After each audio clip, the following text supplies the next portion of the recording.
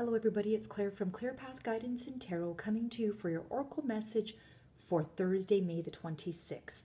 And the card that I pulled today is See the Light. The great illusion of the ego is that it sees itself as less than or better than others. This creates a false sense of separation and isolation, cutting you off from the divine flow of life. The spirit within knows we're all of the same source and honors self and others equally. The ancients called this false sense of ego separation stink eye, the sad affliction of not seeing the shared beauty of spirit in all. When in your life are you suffering from stink eye? Where do you feel less than or better than those around you? Where are you feeling inadequate or superior? Where do you feel jealous or indifferent? Where are you feeling angry or insecure?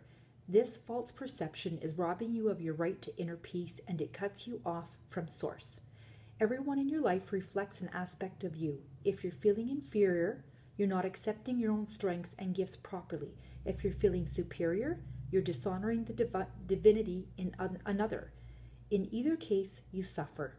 Each person in your life mirrors you back to yourself. If you feel less than another, you're probably valuing your endowments and beauty. If you're feeling superior, you're depriving yourself of the gifts of another. To clear the stink eye, look for the common elements you share with those from who you feel separate. See both the human and divine in yourself as well as others. We all have challenges and weaknesses as well as divine light. Free yourself from stink eye by looking with the eye of spirit instead of the filters of the ego. All right, everyone, have a great Thursday. Bye bye.